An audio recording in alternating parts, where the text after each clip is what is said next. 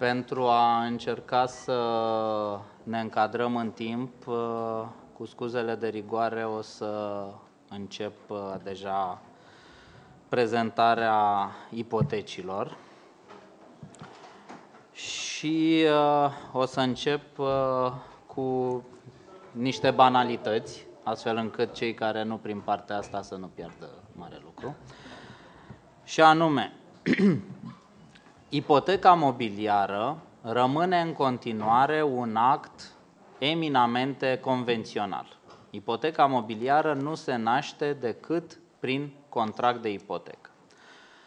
Pe de altă parte însă, așa cum am anticipat, ipoteca imobiliară poate avea atât un izvor convențional, cât și un izvor legal, întrucât, v-am spus, fostele privilegii speciale mobiliare, imobiliare s-au transformat în ipoteci legale.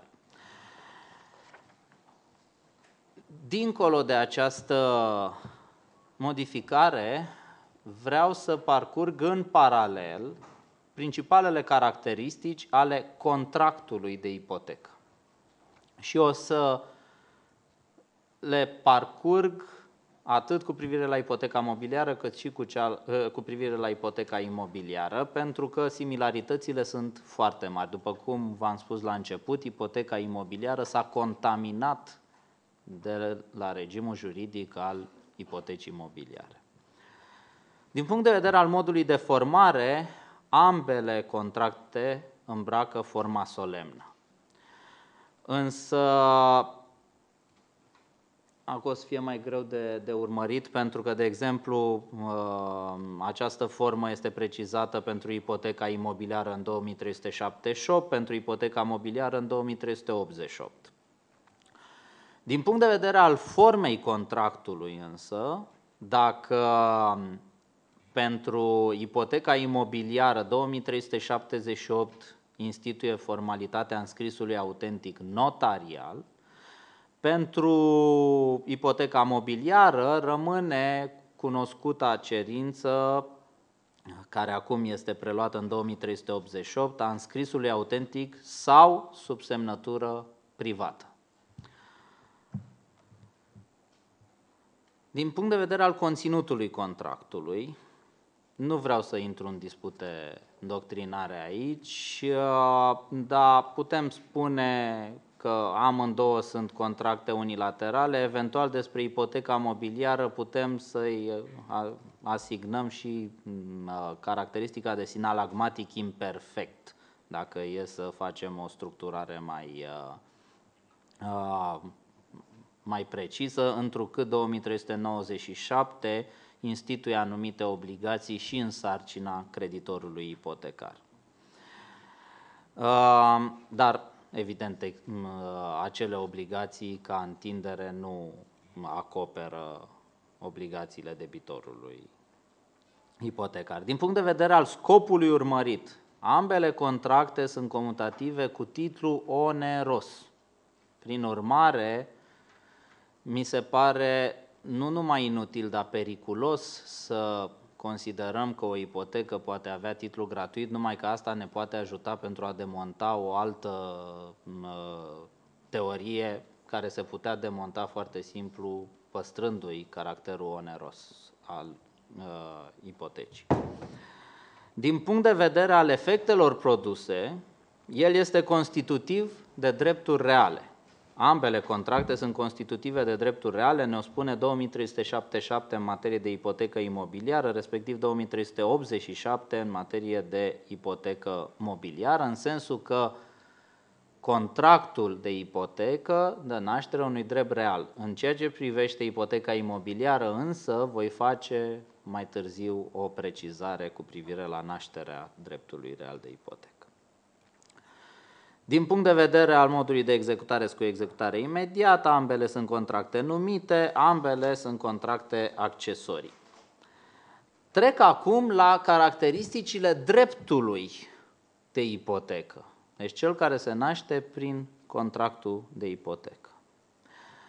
Este un drept real. Ne-o spune atât 2343 uh, din uh, cod în, uh, în mod expres, atunci când uh, afirmă că ipoteca este un drept real asupra bunurilor mobile sau imobile afectate executării unei obligații, cât și 551 punctul 10, care spune că sunt drepturi reale, drepturile reale de garanție.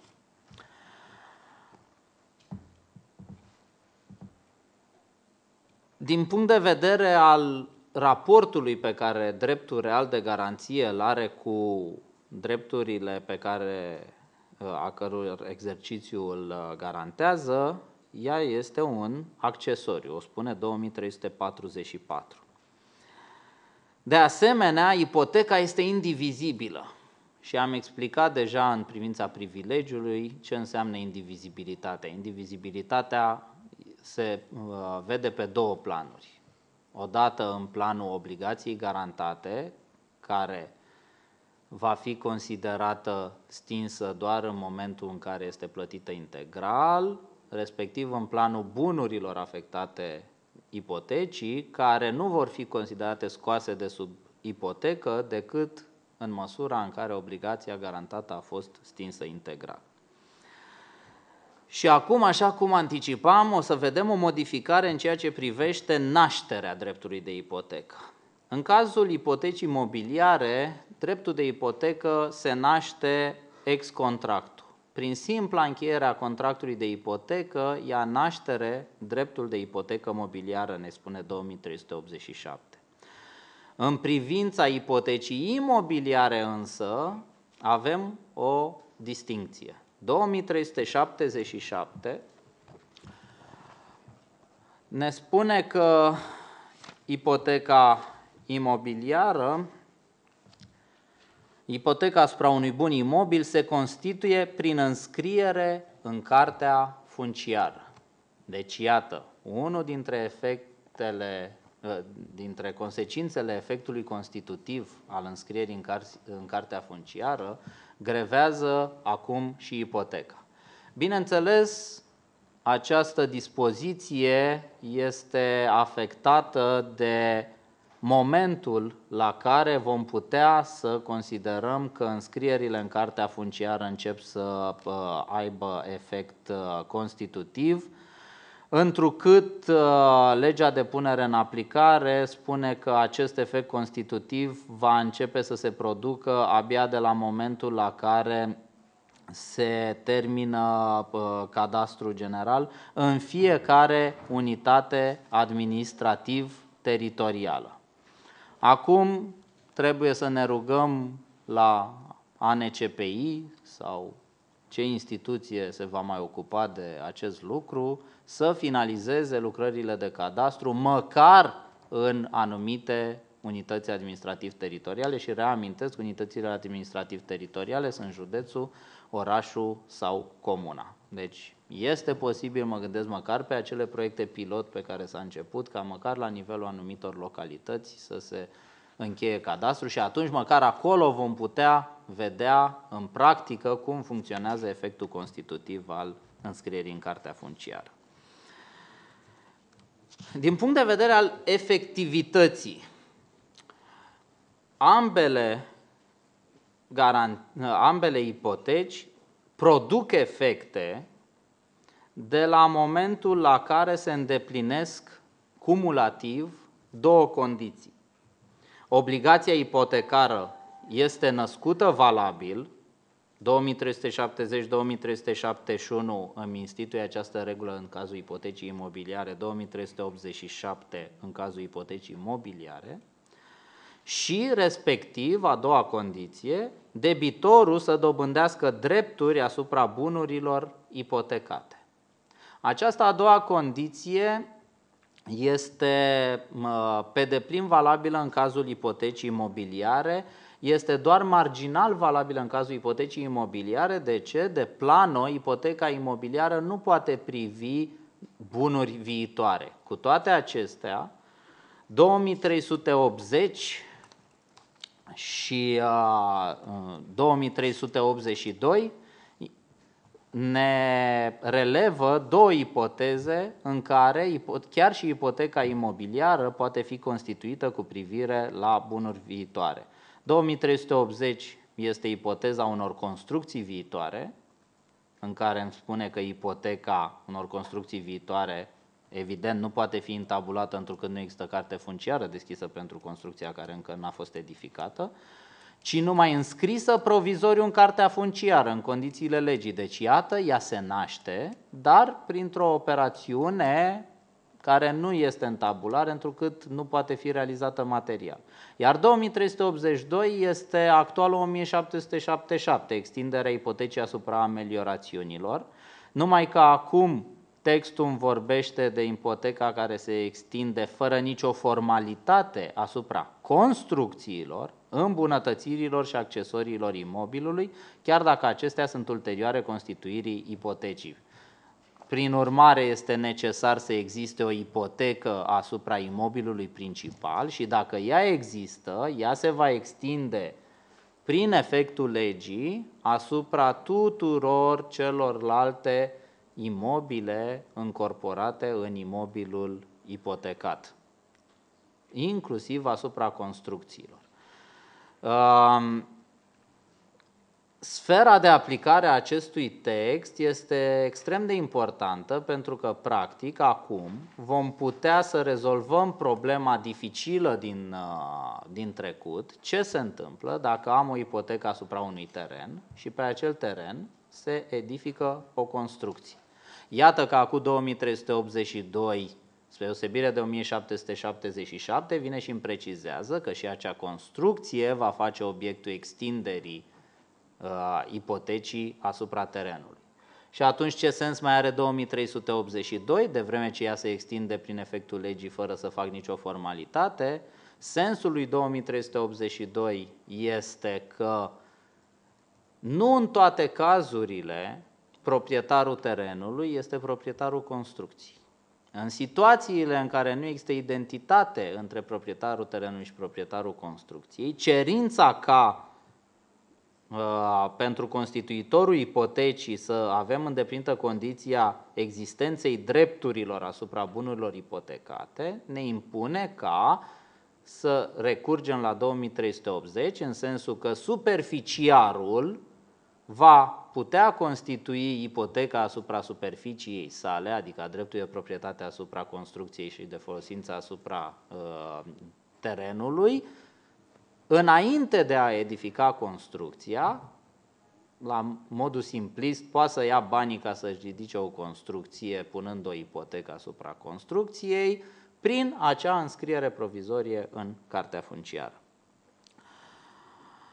Din punct de vedere al obiectului, nu sunt uh, uh, modificări notabile. Ipoteca imobiliară poate greva bunuri imobile, prin bunuri imobile înțelegându-se atât imobile prin natura lor, cât și imobile prin destinație, cu, spe, cu precizarea că actualmente imobilele prin destinație au o sferă de m, întindere zic eu, mai mică decât uh, până acum, întrucât 537 îmi spune că sunt imobile tot ceea ce în mod natural sau artificial este încorporat într-un bun imobil cu caracter permanent, altfel spus mi-au dispărut lapinii de pe lângă casă și porumbii din columbărie.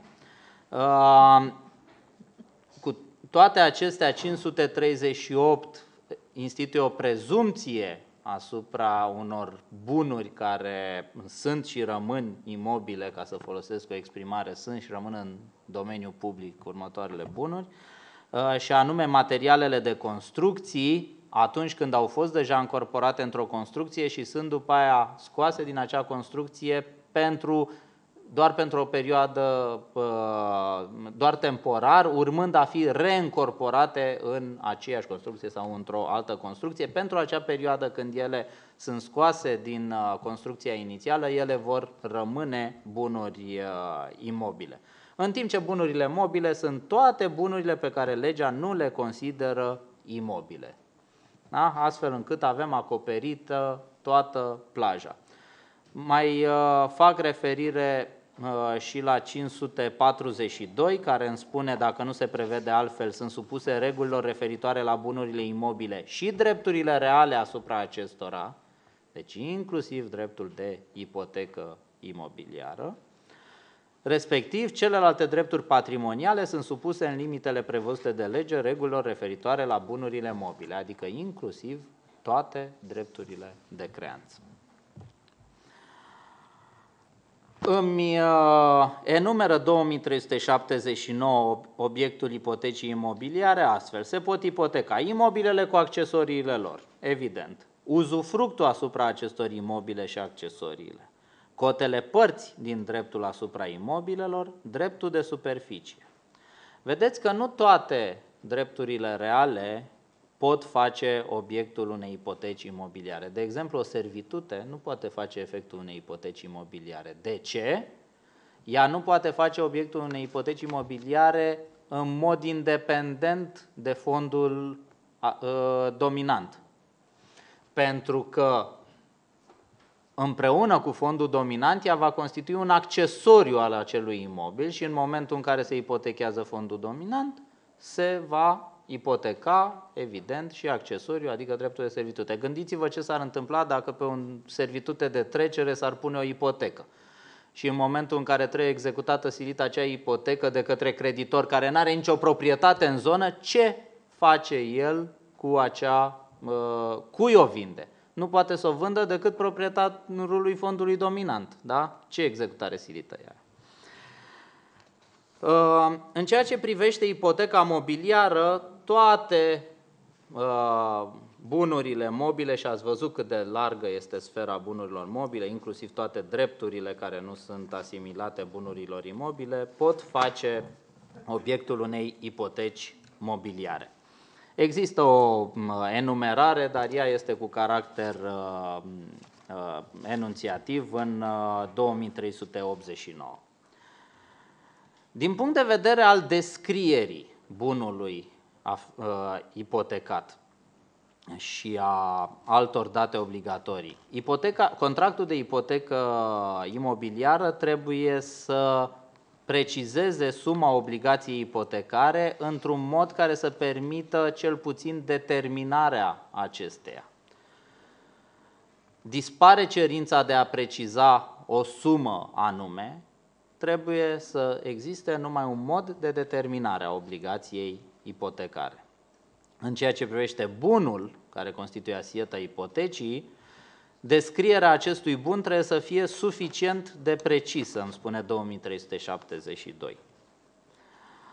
În mod uh, similar, în materie ipotecii imobiliare, Suma obligației ipotecare trebuie să fie determinabilă, dispare infamul articol 15 din titlul 6 al legii 99 pe 99, care după modificarea din 2003 spunea că e obligatoriu să prevadă contractul de garanție reală mobiliară suma maximă a obligației garantate. Și prin urmare eu am fost pus în situația în care într-un contract într-un astfel de contract a trebuit chiar atunci, în 2000, să pun, sau sfârșitul 99, să pun suma de nu știu cât era, 2 miliarde de dolari, ceea ce părea aberant, pentru că s-a spus, domne, nu știu, creditul e pe 10 ani, poate să aibă majorări de întârziere, poate să aibă două bânzi, poate să aibă o serie, să cauzeze o serie de daune. Punem 2 miliarde ca să fie acoperitor. A dispărut o astfel de cerință inutilă. Bunul ipotecat, îmi spune 2391, trebuie să aibă o descriere suficient de precisă, iar în cazul în care bunul ipotecat este un cont bancar, ca și astăzi, trebuie identificat contul bancar.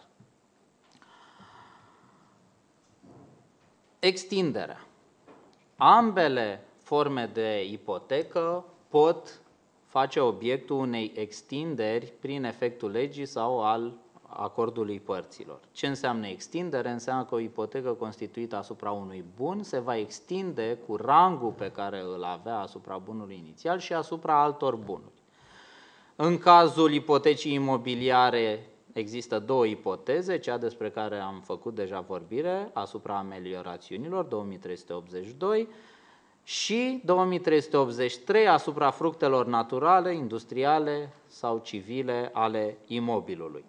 În ceea ce privește uh, ipoteca mobiliară, extinderea este similară cu cea reglementată de, de actuala uh, lege 99 și anume 2392 îmi spune că ipoteca se uh, extinde asupra produselor și asupra ceea ce uh, doctrina a numit uneori surogate ale bunului inițial. Și o să uh, explic ce înțeleg prin acești termeni. Uh, spre osebire de definiția largă din art 12 al, uh, legii 99, al titlului 6 al legii 99 pe 99 a produselor, nou cod civil vine și îmi uh, indică o definiție globalizatoare a produselor, care se aplică nu numai în materie de garanții, în 547. Conform acestui text, foarte simplu, produsele bunurilor sunt fructele și productele. Deci se face o unificare terminologică care, a cărei nevoie se simțise încă de sub Imperiul Legii 99 pe 99, în care nimeni nu știa, ok, ce sunt produsele și care e relația lor cu fructele și cu productele. Mai departe, mai departe, definiția fructelor și a productelor este similară cu cea din actualul uh, cod civil. Însă, 2392 îmi spune că ipoteca se extinde asupra fructelor și productelor bunului imobil ipotecat, precum și asupra tuturor bunurilor primite de constituitor în urma unui act de administrare ori de dispoziție încheiat cu privire la bunul mobil ipotecat. Se consideră de asemenea a fi un produs al bunului mobil ipotecat orice bun care îl înlocuiește sau în care trece valoarea acestuia. Asta e preluarea actualului articol 12.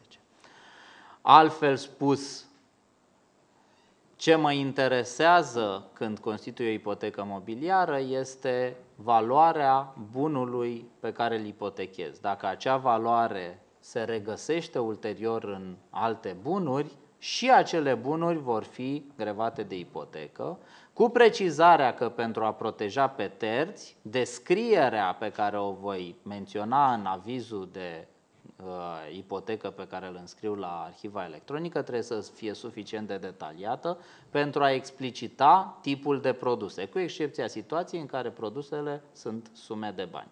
Exemplu, am pus o ipotecă asupra unui autoturism, vând autoturismul, încasez o sumă de bani, ipoteca rămâne asupra autoturismului, dar poate se extinde și asupra sumei de bani pe care am primit-o în schimbul lui. Și nu trebuie să fac o publicitate distinctă. Dacă însă cu acea sumă de bani cumpăr o bicicletă, pentru a putea beneficia de extinderea ipotecii asupra bicicletei, trebuie să mă duc să înscriu un nou aviz în care să explicitez că ipoteca mea s-a extins asupra bicicletei. Și această extindere nu se poate face în detrimentul drepturilor terților. Dacă, de exemplu, ipoteca pe care, ă, bicicleta pe care am cumpărat-o era deja ipotecată în favoarea unui terț, Articolul 173 din legea de punere în aplicare îmi spune că dacă prin constituirea unei noi garanții afecta rangul ipotecii existente, creditorul ipotecar trebuie să-și exprime acordul cu privire la constituirea noii garanții. Altfel spus, eu nu pot să dobândesc rang prioritar pentru că asupra autoturismului eu înscrisesem ipoteca mea înainte ca el să-și fi înscris ipoteca lui asupra bicicletei, decât dacă el este de acord. Cu aceste precizări trecem la formalitățile de opozabilitate. Pentru ipoteca imobiliară, formalitatea de opozabilitate se confundă cu cerința Uh, pentru valabilitatea constituirii ipotecii și anume intabularea în cartea funciară, respectiv înscrierea provizorie pentru construcții viitoare. Deci lucrurile sunt simple. În ceea ce privește însă ipoteca mobiliară, avem un sistem complex. Acest sistem complex este, se datorează complexității naturii uh, bunurilor. 2409-2411 sunt textele relevante. Uh, complexității uh, bunurilor mobile din ziua de astăzi. Avem în continuare ca principal mijloc de asigurare a publicității menționarea garanției în arhivă. Atenție, este vorba de o menționare. Nu este vorba ca la cartea funciară de publicitatea contractului de ipotecă. Este vorba doar de menționarea ipotecii. Menționarea presupune doar indicarea creditorului, a debitorului și a bunului afectat garanției, nimic altceva. Toate celelalte detalii le obțin terții, dacă sunt interesați, adresându-se debitorului cu care vor să contracteze. În afară de această uh, formalitate de publicitate care este uh, regula, avem forme speciale de publicitate. De exemplu, 2411 îmi face referire la registre specializate atunci când vorbim, de exemplu, despre nave, aeronave sau acolo unde avem registre specializate, cum e cazul valorilor mobiliare, unde am registru acționarilor. Tot 2411 îmi vorbește despre andosare atunci când vorbesc de o ipotecă constituită asupra unor titluri emise în formă materializată, al căror transfer necesită andosarea. Ce înseamnă andosarea? Adică scriu pe dos, adică fac mențiune pe versoul titlului. Intră aici acțiunile emise în formă materializată, intră aici certificate de depozit, conosamente și alte titluri reprezentative de bunuri. Intră aici uh, și cambii, cecuri, bilete la ordine în care legea pentru transmiterea lor, de exemplu în dreptul cambial, transmiterea se cheamă GIR, impune formalitatea îndosării. Și, marea noutate, dispare posesia bunurilor mobile corporale ca formalitate de publicitate, iar rămâne ca cerință pentru Uh, pentru valabilitatea contractului de gaj care rămâne contract real și e nevoie de deposedarea debitorului pentru a se naște valabil dreptul de gaj, dar dispare ca formalitate de publicitate în ceea ce privește garanțiile reale constituite asupra bunurilor mobile. În locul ei apare uh, fratele mult mai mic, dar mult mai puternic, care se cheamă control. 2410 este un text care va face epocă, la fel cum a făcut începând cu 2001 în Statele Unite, unde a fost reglementat. Out of the record, eu nu sunt adeptul controlului, dar el este reglementat. Ce este controlul? În primul rând, controlul este o formalitate de publicitate alternativă. În al doilea rând, este o formalitate de publicitate care privește numai un tip special de ipotecă, și anume ipoteca mobiliară constituită asupra conturilor bancare. Cum se poate dobândi controlul? Controlul se poate dobândi în trei moduri. Îmi spune articolul 2410.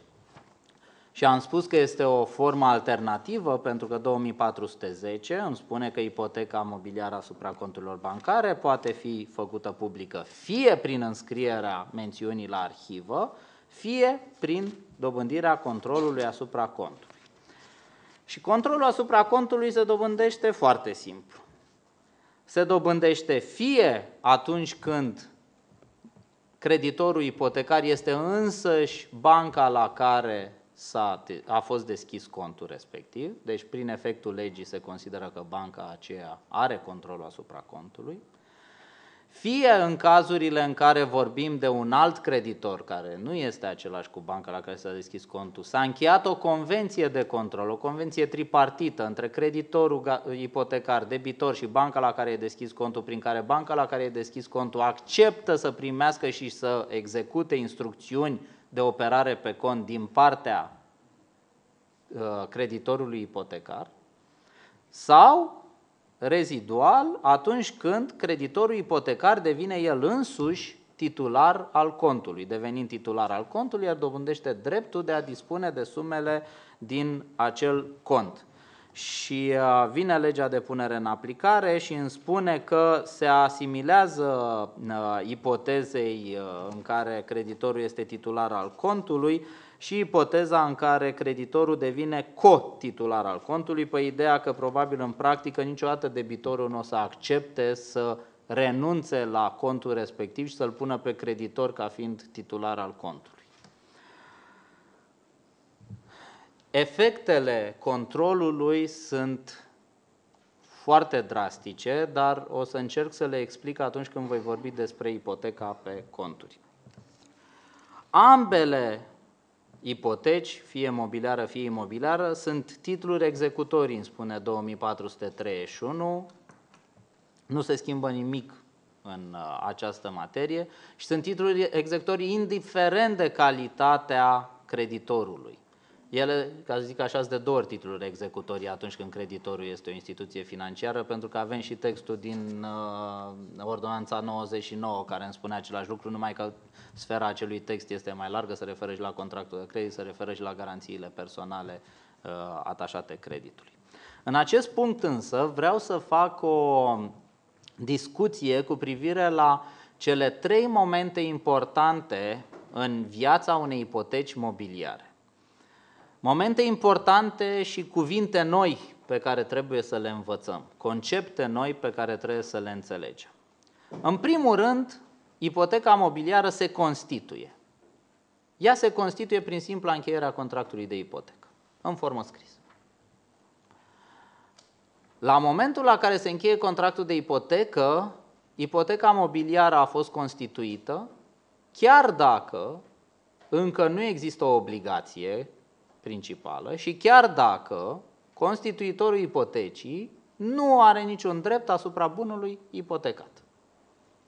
Ipotezele care sunt și astăzi, garanția reală mobiliară care garantează obligații viitoare, respectiv garanția reală mobiliară asupra bunurilor viitoare. Este totuși o erezie. Cum poți să ai un drept real atunci când nu ai un bun care să-i constituie obiectul derivat? Cum poți să ai un drept accesoriu atunci când nu există obligația principală? Tocmai de aceea vine legea și îmi vorbește despre momentul la care ipoteca devine efectivă.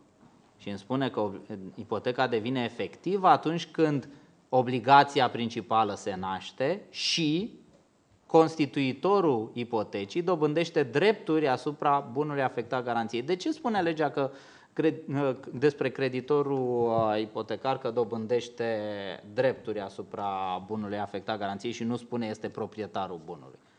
Simplu, pentru că orice drept asupra bunului poate constitui obiectul ipotecii. Nu trebuie numai proprietatea asupra bunului să constituie obiectul ipotecii, poate fi un drept de folosință. Mai mult, drepturile de creanță pot constitui obiect al ipotecii. Aici fac o paranteză, tot în materie de terminologie, noul cod operează și cu termenul de constituitor al ipotecii, care este cel care uh, deține drepturi asupra bunului ipotecat. Și cea mai ciudată dintre, uh, cel mai ciudat dintre concepte, ipoteca devine perfectă. E, în ce constă perfecțiunea asta? Perfecțiunea în ideea codului civil constă în faptul că ipoteca este efectivă și a fost făcută publică. Două condiții cumulative, dar care nu neapărat se îndeplinesc în această ordine.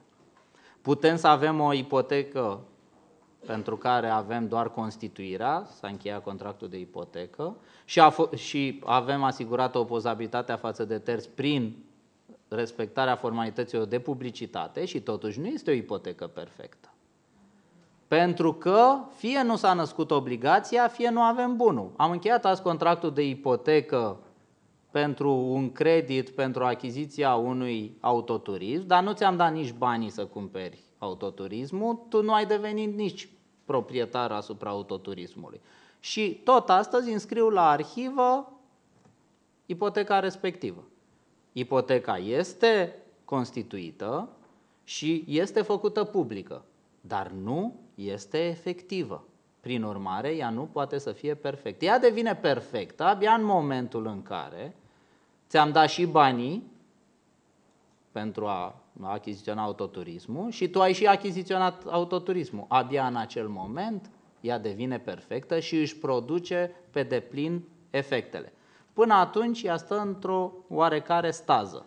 Beneficiul este că făcând uh, separația dintre momentul la care ipoteca devine efectivă și cea la care ea devine perfectă, per, se permite să se facă publică o ipotecă înainte ca ea să devină efectivă și se dobândește rangul de prioritate de la momentul la care ipoteca a fost făcută publică. Același mecanism există și astăzi pentru garanția reală mobiliară, dar poate nu este atât de clar explicat și etapizat. În ceea ce privește efectele unei garanții reale. Efectul principal al garanției reale este să permită creditorului ipotecar să se îndestuleze cu preferință, cum am văzut, din bunul care face obiectul garanției. Și aici avem toate dispozițiile care privesc executarea ipotecii. 2479 ne rezolvă problema executării ipotecii imobiliare întrucât ne trimite la codul de procedură civilă. Deci aici putem spune cu mâna pe inimă că nu se schimbă uh, nimic în ceea ce privește uh, executarea ipotecii imobiliare cu o precizare. 2478, plasat înaintea lui 2479, îmi vorbește despre discuțiunea bunurilor ipotecate. O instituție nouă. Creditorul nu poate urmări în același timp vânzarea imobilelor care nu sunt ipotecate decât în cazul când bunurile care îi sunt ipotecate nu sunt suficiente pentru plata creanței sale. Iată un drept pentru creditorii chirografari. Creditorii chirografari vor spune du-te întâi și executăți bunurile care sunt ție rezervate, asupra care ai ipotecă și abia după aia începi o, să faci o executare silită imobiliară asupra celorlalte bunuri din care poate vreau și eu să mă îndestulez pentru a nu înfrauda drepturile mele. Uh, este oarecum o, uh, o protecție uh, dublă aici, pentru că oricum, chiar dacă se pornea executarea asupra bunurilor neipotecate și după aceea Uh, se executa asupra bunurilor ipotecate, ceea ce rămânea din executarea bunurilor ipotecate trebuia remis debitorului, revenea în patrimoniul debitorului și creditorii chirografari se puteau îndrepta împotriva acelor uh, sume. Dar pentru mai multă siguranță sunt lăsați și creditorii chirografari să aibă executarea lor imobiliară distinctă. Acestea fiind zise, o să trecem la executarea ipotecii imobiliare, care ocupă un spațiu destul de vast în uh, reglementarea codului, începând cu 2435. Se păstrează sistemul actualei, uh, actualului titlu 6 al legii 99 pe 99, reglementat în capitolul 5 de acolo. Și anume, am uh, executarea uh, care se face prin, uh, în baza unui titlu executoriu care este contractul de ipotecă mobiliară. Se poate alege dacă creditorul ipotecar poate alege dacă apelează la procedura de drept comun din codul de procedură civilă și merge pe urmărirea silită a mișcătoarelor sau se va adresa uh, sau va face apel la procedura specială din codul civil. În cazul în care face apel la Uh, procedura specială din codul civil avem o fază preliminară, dar care nu este obligatorie și, și anume preluarea bunului, care preluarea bunului de către debitor se poate face fie prin mijloace proprii, fie în mod silit. Diferența acum este că ipotezele în care se poate face preluarea bunului prin mijloace proprii au fost 2440, au fost reduse destul de mult, întrucât, pe de o parte, trebuie întâi să se trimită o notificare prin executor judecătoresc debitorului, vezi că vin să-ți iau bunul și stau și mă întreb ce o să facă debitorul de rea credință că de el ne e teamă atunci. Și în al doilea rând, modalitățile în care se face această preluare au fost restrânse, întrucât, ca și până acum, creditorul nu poate tulbura liniștea și ordinea publică, ori recurge în mod direct sau indirect la constrângere, chiar dacă fapta sa nu ar constitui o infracțiune. Orice stipulație care limitează această obligație se consideră nescrisă. Prin urmare, în practică, probabil că numai dacă se duce creditorul, se întâlnește cu debitorul, dau mâna și semnează eventual și un proces verbal că da, sunt foarte bucuros că ți-am dat bunul, vom avea astfel de, uh, de preluări. Eu sunt adeptul unei interpretări mai extensive tocmai pentru a da efect acestui text, dar nu intru acum în detalii, vom vedea practica cum va defini o preluare a bunului prin mijloace proprii. Preluarea silită este la fel ca și acum, prin intermediul executorului judecătoresc, care la rândul lui poate face apel la uh, organele de uh, ordine publică. În cazul în care vorbim de un uh, bun care poate face obiectul unei valorificări prin vânzare, avem dispoziție de la 2445 și următoarele, în care îmi spune ce se întâmplă cu executarea efectivă, și anume credit, cum face creditorul să-și stingă creanța sa. Păi, simplu, vinde silit bunul, pe care fie l-a preluat, fie l-a lăsat în continuare în posesia debitorului. Putea să-l lase în posesia debitorului fără să-i facă nimic sau putea să-l lase în posesia debitorului luând niște măsuri care să indisponibilizeze bunul respectiv. Nu știu, mai țin minte din filmele cu pistruiatul că îi lua mm, delcou de la motor ca să nu poată să plece cu mașina. Vânzarea bunurilor ipotecate, spre deosebire de procedura din actualul articol 71 din, legea, din titlul 6 al legii 99 pe 99, va necesita acordul dumneavoastră. Îmi spune 2445. Creditorul ipotecar poate cere instanței de executare în cuvințare executării ipotecii imobiliare prin vinzarea bunului mobil ipotecat. Și anume, creditorul nu mai poate să facă nicio mișcare înainte să ajungă la instanță. La cererea de încuvințare se vor depune documente care atestă existența creanței ipotecare și a ipotecii imobiliare împreună cu dovada perfectării ipotecii. Instanța va analiza existența creanței și a ipotecii legal perfectate și va cuvința vânzarea cu citarea părților interesate. Ce vrea să spună textul ăsta? Că instanța doar se uită că există o creanță și că există o ipotecă perfectată. În măsura în care nu primește dovezi care arată că ipoteca respectivă nu e perfectată, adică nu a fost legal constituită, nu am un înscris în ipotecă, nu a fost făcută publică, de obicei se aduce extrasul din uh, arhiva electronică. Nu, uh, debitorul nu are drepturi asupra bunului, obligația nu s-a născut, deci nu, oricum nu există, atunci, da, va respinge, nu va încuvința executarea. Orice alte incidente decât dovezi care să arate că obligația a fost stinsă în totalitate nu constituie impedimente pentru uh, continuarea executării. După, și vă spun de ce, pentru că este numai primul moment în care vă întâlniți cu băieții ăștia, o să vă mai întâlniți de două ori. După ce are încuvințarea, creditorul își organizează el cum vrea vânzarea în așa fel încât să lichideze bunul, să obțină bani din vânzarea bunului respectiv.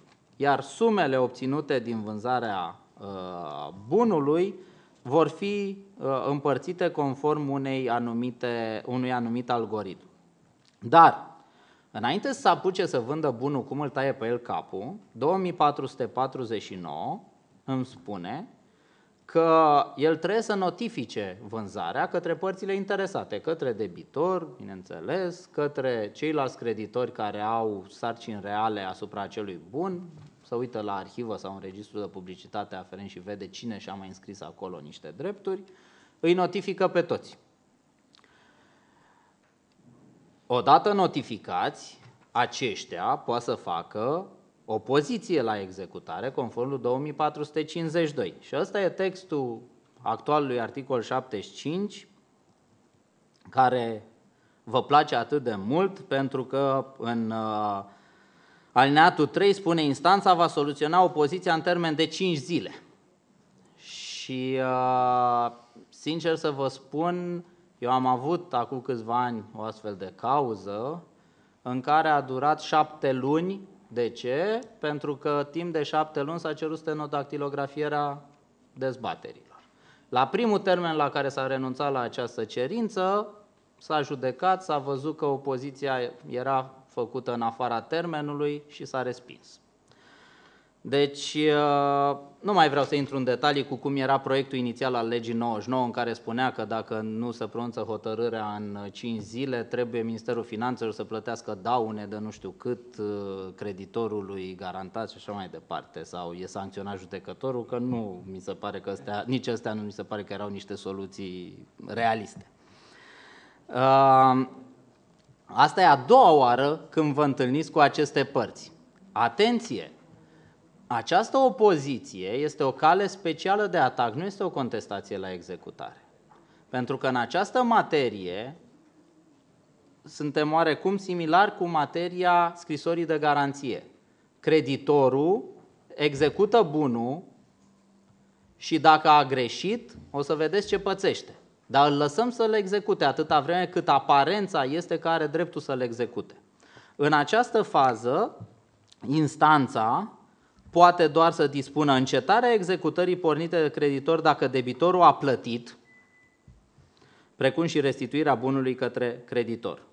De asemenea, dacă nu a plătit prin ipoteză, Instanța va constata că vânzarea a rămas să facă cu încălcarea și uh, instanța constată că vânzarea a rămas să facă cu încălcarea dispozițiilor referitoare la regulile de vânzare, va stabili condițiile și regulile corespunzătoare astfel încât să asigure o vânzare echitabilă și va încuvința valorificarea.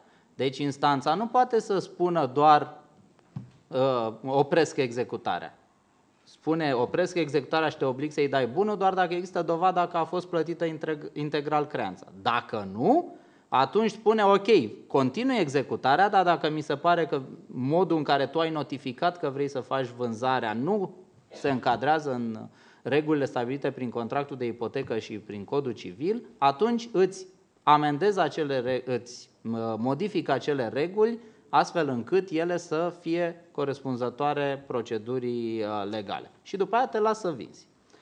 Ei, ce se întâmplă dacă avem un creditor de rea credință care se apucă și vinde bunul pe o valoare foarte mică numai ca să-l prejudiceze pe debitor și nu respectă toate aceste reguli. Păi avem dispoziția de 2474 și următoarele, care sunt o preluare cu mici modificări a dispozițiilor actualmente în 87-89 din titlul 6 al legii 99 pe 99. A treia oară când vă întâlniți cu actorii noștri. Atunci când debitorul consideră că executarea pornită de creditor nu a respectat regulile comerciale adecvate și se adresează instanței ca instanța fie să oprească executarea care încă nu s-a uh, uh, finalizat, fie să stabilească niște daune cu caracter punitiv în sarcina creditorului, plătește creditorul toți banii pe care i-a primit și încă o treime din valoarea uh, bunului pe deasupra și în plus, dacă se dovedește și un alt prejudiciu, va plăti și acel prejudiciu. Deci sunt trei genuri de sancțiuni împotriva creditorului. Astfel încât se justifică să se lase la aprecierea creditorului partea inițială de executare, preluarea bunului, respectiv vânzarea silită a bunului, pentru că știm că la sfârșit, dacă a călcat strâmb, va fi sancționat atât de drastic încât cel puțin data viitoare nu o să o mai facă. Uh, și întrucât uh, sunt, timpul este înaintat, vreau doar să fac câteva pre, uh, precizări uh, speciale cu privire la două tipuri de ipoteci particulare. Ipoteca asupra uh, creanțelor și respectiv ipoteca asupra conturilor bancare. Ipoteca asupra creanțelor a suscitat o practică diversă. Și a suscitat o practică diversă pentru că niciodată nu știi cum să tratezi creanța. Adică, ce e creanța? E un bun? Noi știm că nu e un bun. E altceva decât un bun. Și în ce constă valoarea creanței? Valoarea creanței, de fapt, constă în dreptul de a te adresa debitorului acelei creanțe pentru ca el să facă plata. Așa încât garanția asupra creanței a oscilat tot timpul între a vedea dacă este de fapt o cesiune și avem vestitele cesiuni de creanță în scop de garanție sau este o veritabilă ipotecă. Noul cod civil încearcă să acrediteze ideea că sarcina asupra creanței este o veritabilă ipotecă. Se pot ipoteca una, mai multe creanțe sau un portofoliu, adică o universalitate de fapt de creanțe. Dar uh, care sunt regulile speciale? Regulile speciale este că în materie de ipotecă asupra creanțelor, articolele 2400 și următoarele, instituie o procedură specifică și care ne aduce aminte de formalitățile de la cesiunea de creanță. Pragmatic, există două structuri în care se uh, acordă credit cu o ipotecă pe creanțe. O structură care se cheamă facilitate de scontare sau de factoring, în care îți dau niște bani și tu îmi cedezi niște creanțe și eu acopăr rambursarea creditului din încasarea direct a creanțelor de la debitorii cedați. A doua structură în care eu te las în continuare să colectezi creanțele și din sumele alea probabil că tu îți vei rambursa creditul, dar tu le gestionezi și doar în momentul în care nu îți îndeplinești obligația de rambursare, eu declar scadența anticipată și în acel moment trec la executare ipotecii asupra creanței. Cum? Devenind titularul creanței, făcând atunci cesiunea de creanță. Ipoteza din 2465 din codul civil. Deci avem două proceduri distincte. Cea din 2400 și următoarele, în care eu colectez creanța de la început, și cea din 2465, în care eu colectez creanța numai în caz de neexecutare, numai cu titlul de executare silită. Creditorul trebuie să-și aleagă pe care merge. Nu poate să execute de două ori aceeași creanță. Dar în același timp el are un drept de opțiune. El poate inițial să spună te las pe tine să colectezi creanțele, dar ulterior să răzgândească și să zică ți-am retras dreptul acesta, 2405-2406, sau poate să-l lase până la sfârșit și să apeleze la executarea silită din 2465.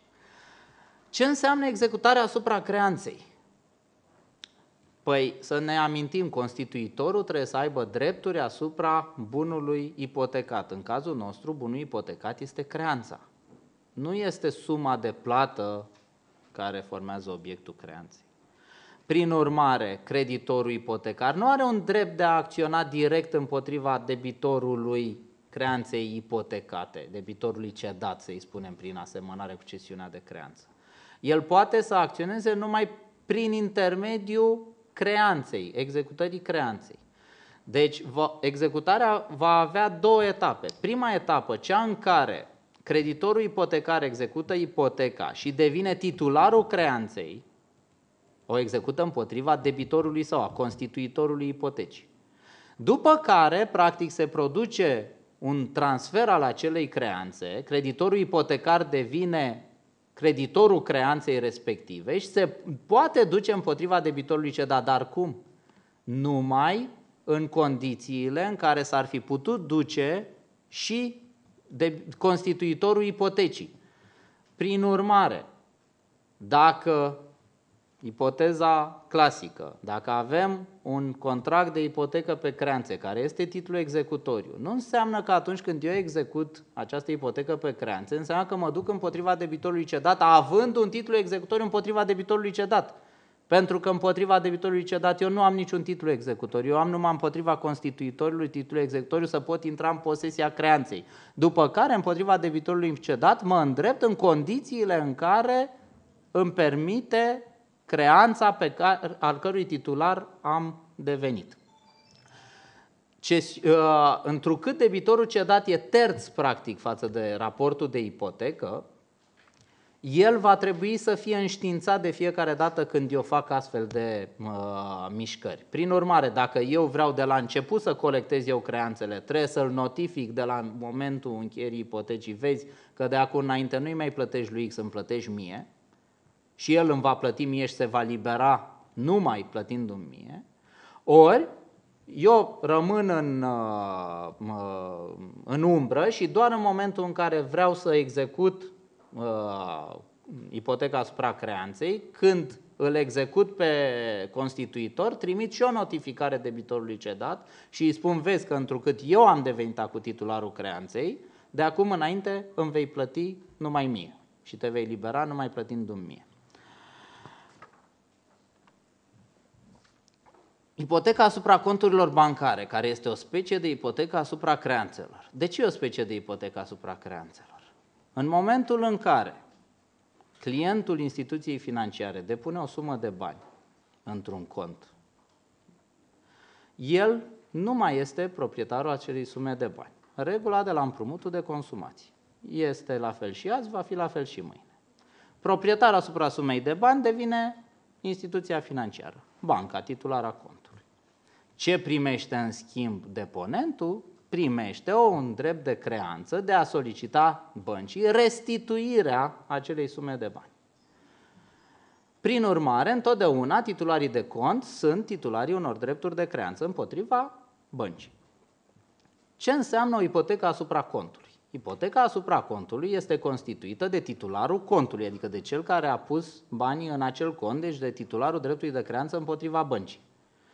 Prin urmare, obiectul ipotecii o va constitui acest drept de creanță de a cere băncii restituirea sumelor. De aia se spune de multe ori că obiectul ipotecii asupra contului îl constituie soldul creditor al contului respectiv, și anume întinderea dreptului de creanță pe care titularul contului îl are împotriva băncii și numai dacă acest drept de creanță este împotriva băncii și nu invers, pentru că știți că băncile folosesc conturile pentru a uh, ține o evidență contabilă a tuturor operațiunilor pe care le au cu clienții. Când îți dă banca un credit, tot într-un cont evidențiază faptul că tu ai minus 100 de lei. Atunci când tu depui niște bani la bancă, se evidențiază în alt cont de regulă că tu ai plus 100 de lei, adică ai dreptul să ceri de la bancă, în, în ipoteza creditului, banca are dreptul să ceară de la tine. Numai atunci când contul are sold creditor, adică e cu plus, pot avea un obiect al ipotecii în sensul de constituitorul are drepturi asupra bunului ipotecat.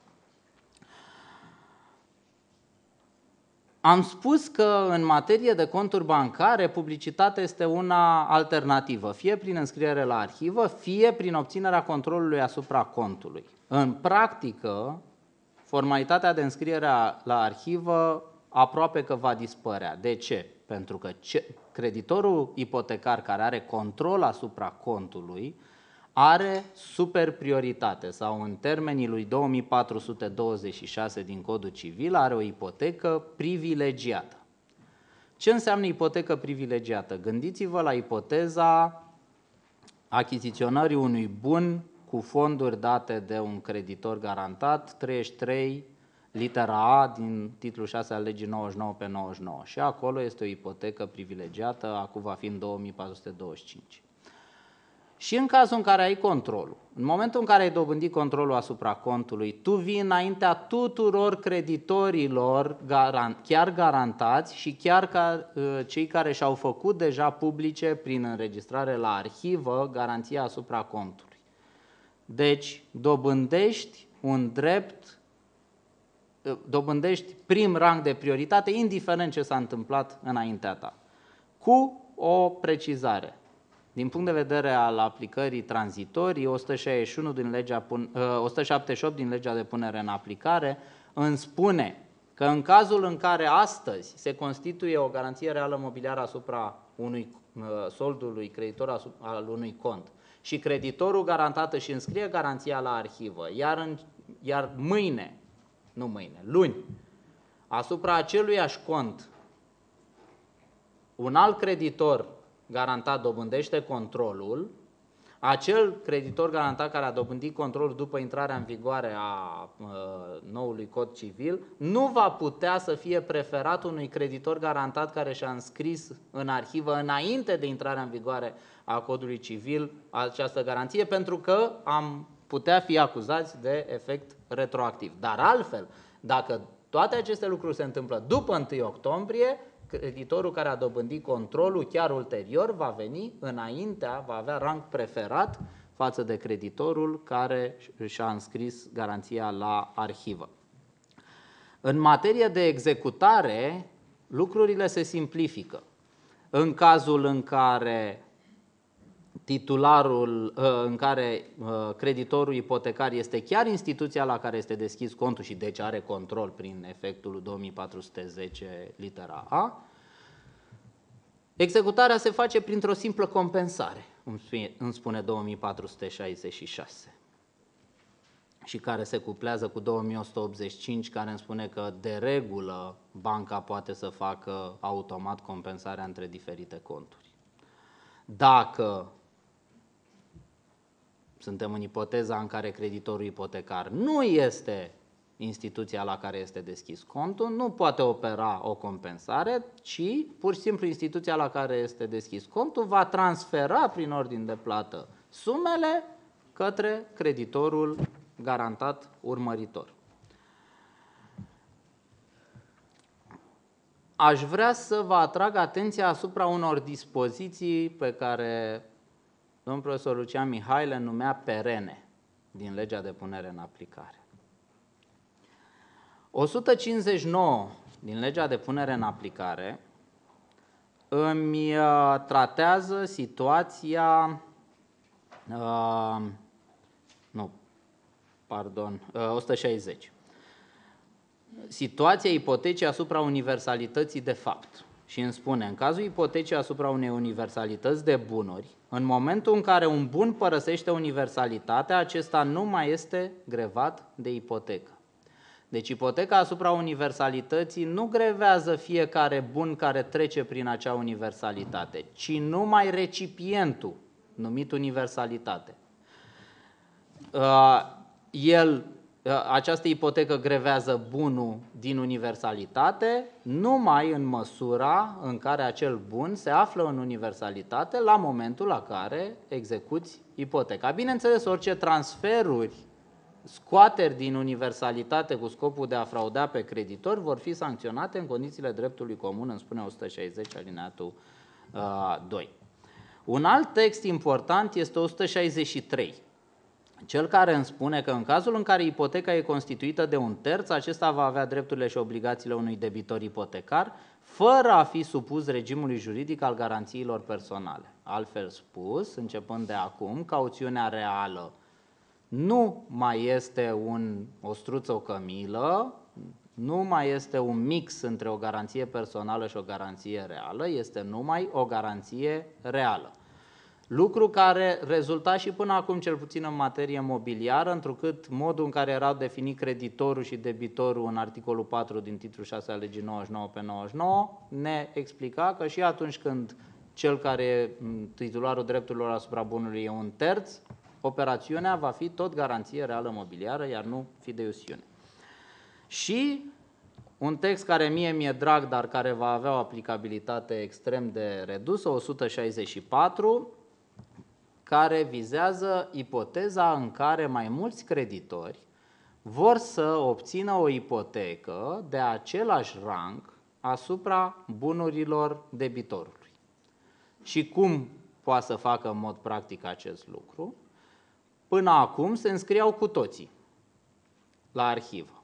Problema era că în momentul în care unul dintre ei suferea o transformare, el trebuia să înscrie un aviz uh, modificator și trebuia să obțină acceptul din partea celorlalți creditori, ceea ce în termeni practici însemna că cineva care trebuia să alerge la arhivă trebuia să primească procuri autentice de la toți creditorii, ceea ce atunci când erau niște bănci care nu aveau sediu în România putea dura câteva luni.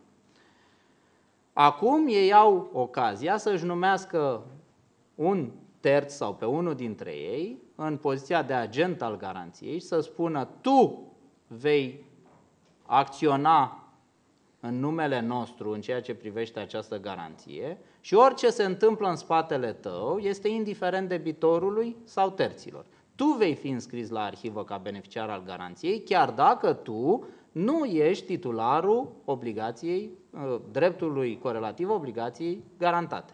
Și tu vei exercita toate drepturile în nume propriu, e drept că în spate vor exista instrucțiuni din partea mea, dar pe terț nu interesează acele instrucțiuni.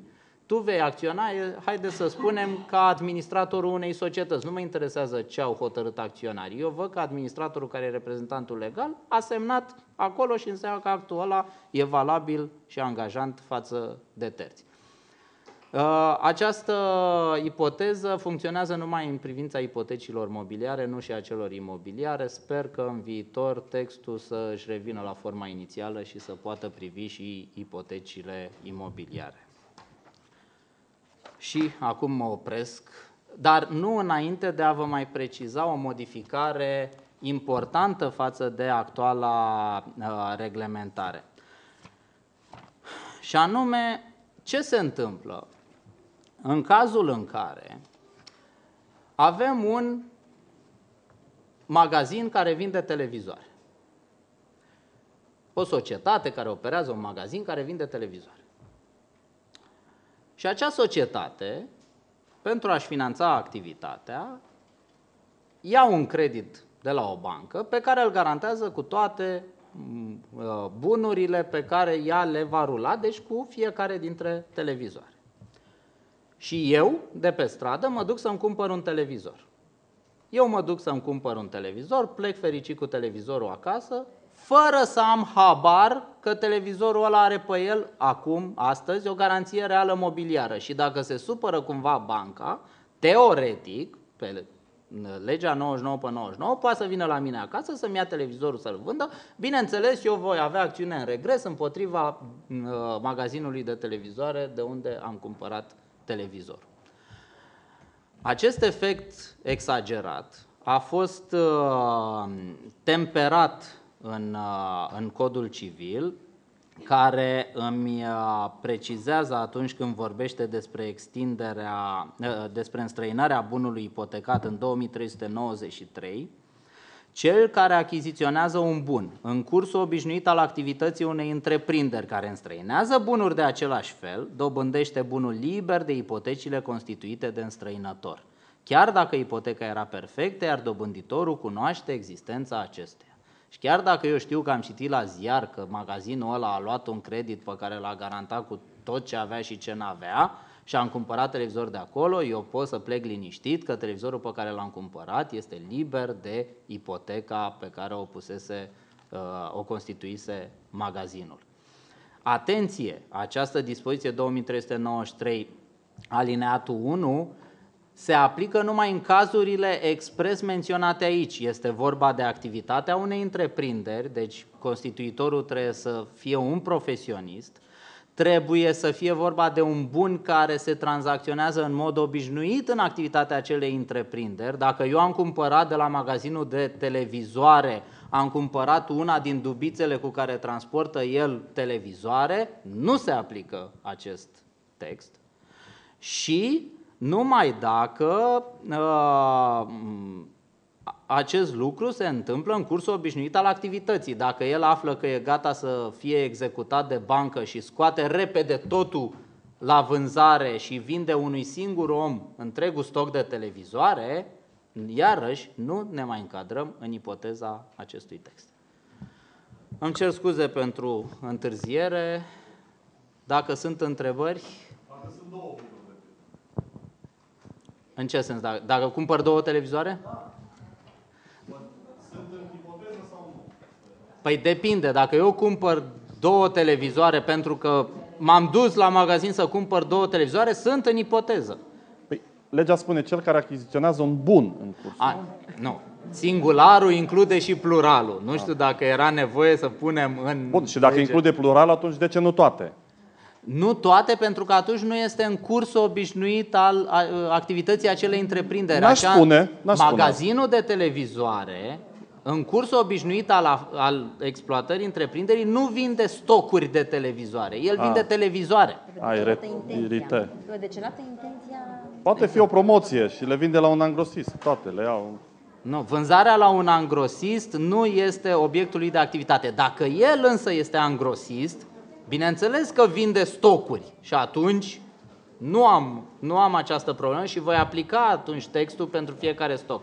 Dar trebuie să văd care este cursul obișnuit al activității acelei întreprinderi. Dacă e magazinul în care intră de retail, cum se cheamă, ăla nu vinde stocuri de televizoare. Și încă o întrebare, sper eu, scurtă. Uh, Vreau să înțeleg care a fost intenția cu privire la regimul juridic aplicabil executărilor silite pe bunuri uh, mobile necorporale. Pentru că ceea ce avem acum în legea uh, 99 era un regim puțin mai extins.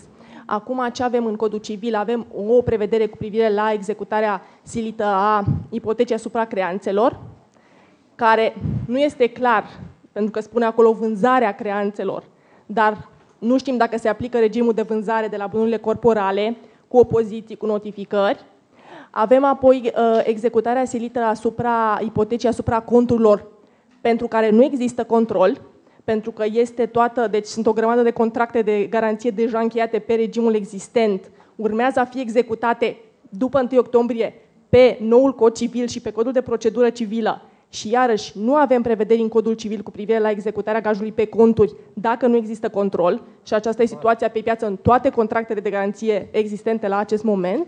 Și ce se întâmplă de asemenea cu uh, executarea garanției uh, uh, ipotecii, mă rog, ipoteci în viitor, garanții reale mobiliare în prezent, asupra părților sociale și acțiunilor, pentru care iarăși nu avem regim specific în uh, codul civil. Și fie aplicăm codul de procedură civilă, fie uh, încercăm să mergem pe uh, articolul acela in- din partea introductivă a codului civil, că se aplică, ac- acolo unde nu avem prevederi, se aplică acele prevederi care, uh, nu o secundă să și citesc,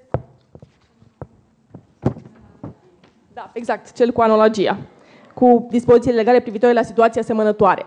Și atunci nu știu dacă a fost uh, vreo, vreo discuție, probabil că a fost discuție și care a fost uh, uh, intenția. Intenția a fost aceea ca dispozițiile referitoare la uh, vânzare, să se apri, vânzarea bunului ipotecat, să se aplice numai în cazul nu neapărat a bunurilor corporale, că pot să fie și bunuri incorporale care nu sunt creanțe.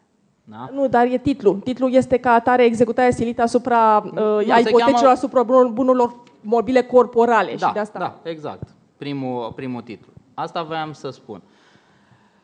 Vânzarea privește numai executarea asupra bunurilor mobile corporale. În ceea ce privește executarea asupra bunurilor mobile incorporale, distingem după dacă sunt titluri reprezentative, avem paragraful 2 2464, dacă sunt, ipote- dacă sunt creanțe, inclusiv contul care am explicat este doar o specie de creanță, mergem pe uh, paragraful 3 2465 2467. Uh, Se mai aplică atunci toată, pă- to, notifi- adică practic opozițiile, de exemplu. Se nu, pot face nu pe se codul... mai aplică procedurile de acolo pentru că ele sunt incompatibile